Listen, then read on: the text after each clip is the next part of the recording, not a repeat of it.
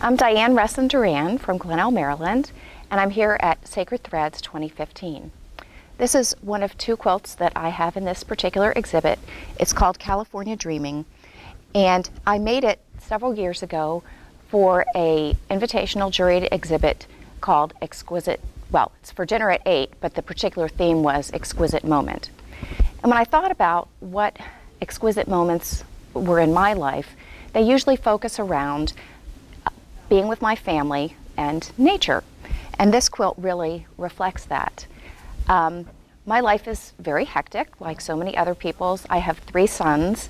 My husband travels a lot, and so um, I'm often the taskmaster, and I don't get to relax very often.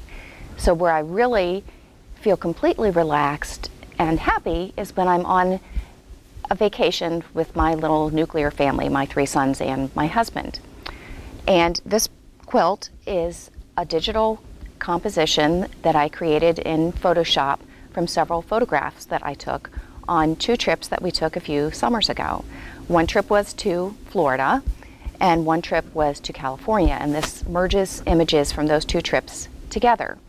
And it really um, reflects my love of nature and how I feel calm and happy there, and also the love of my family and the true enjoyment I have when we're on one of these trips and don't have all the pressures of work and school. Um, my work uh, is usually digital imagery. This particular piece is printed on silk.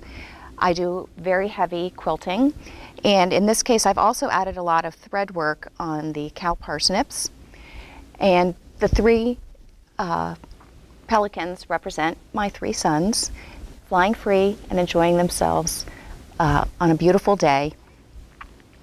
And uh, this quilt brought me joy in making it as well as joy in reflecting on those wonderful moments with my family.